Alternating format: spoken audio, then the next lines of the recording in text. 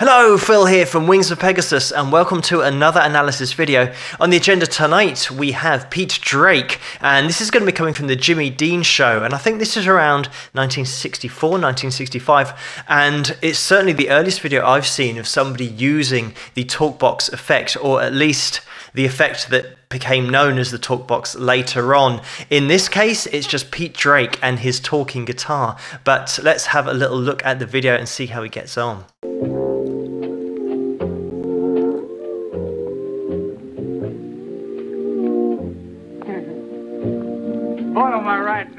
Fellow named Pete Drake. And, uh, yeah.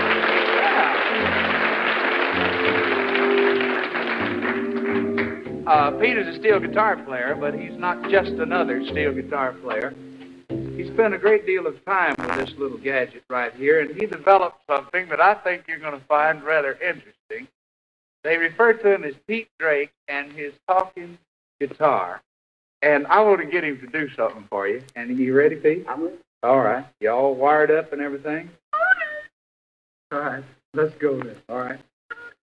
I'm just a guitar. Everybody bets on me.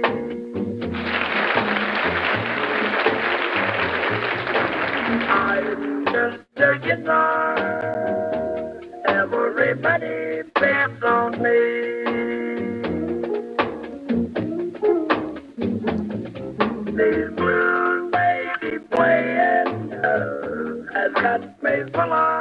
Misery.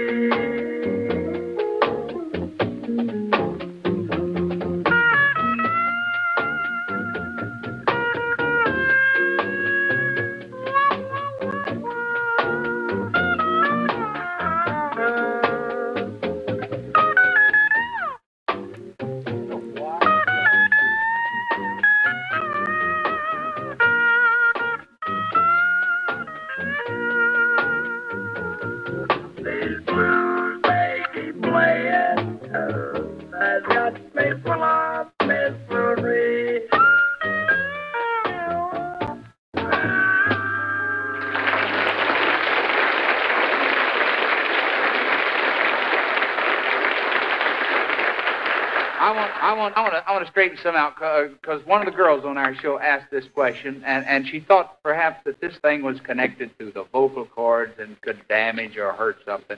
And this does not have anything to do with the vocal cord and doesn't hurt anything, right? Uh huh. I see. I'll tell you what I'd like to get you to do, Pete.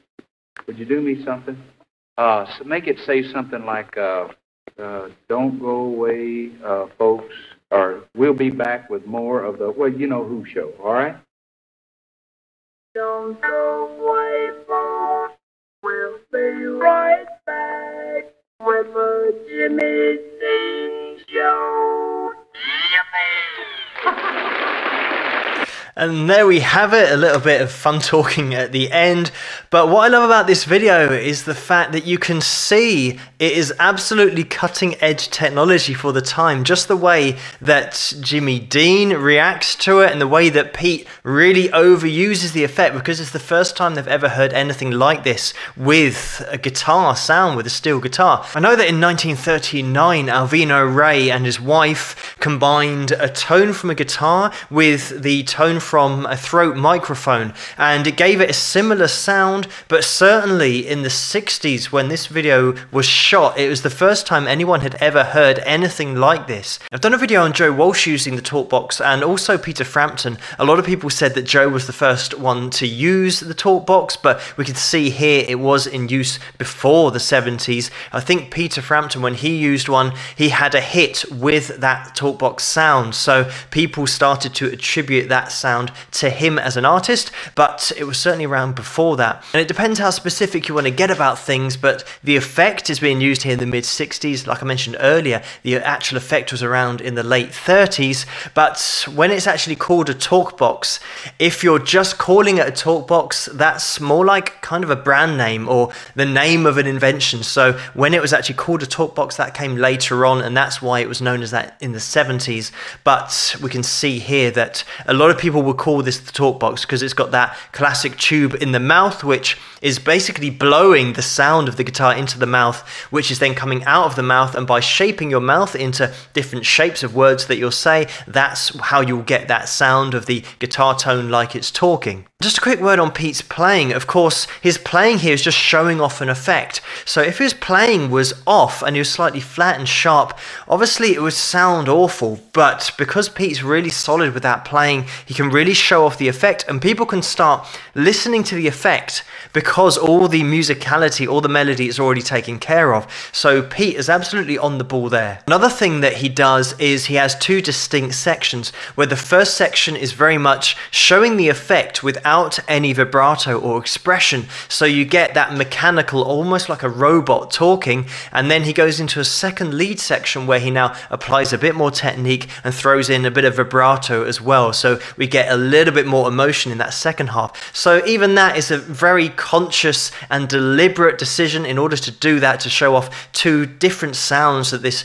talk box can give you. But Pete was a great musician in his own right. In the 1960s, he was one of the most sought after backing musicians. He did a lot of work with Bob Dylan. I think he was on three albums, and also on Tammy Wynette's Stand By Your Man. That was Pete Drake as well. So he had a great resume and worked on a lot of stuff with a lot of very well known artists. But here, he puts together a really great little piece just to show off an effect. And it's great to see it this early on, but also to see how much he's enjoying it because he knows how innovative and how new it is. And Jimmy Dean, you can see as well, really enjoys it. But just a quick video to show that Pete Drake was using this in the mid 60s, and it would be called the Talkbox later on. But at this stage, it was just called Pete Drake and his talking guitar. But everyone will now know this effect as the Talkbox. But thank you so much for suggesting this video for me to take a look at, and keep those suggestions coming in the comments below. Let me know what you guys think, and if you like this video, please give it a thumbs up and subscribe. And I'll see you guys at the next one.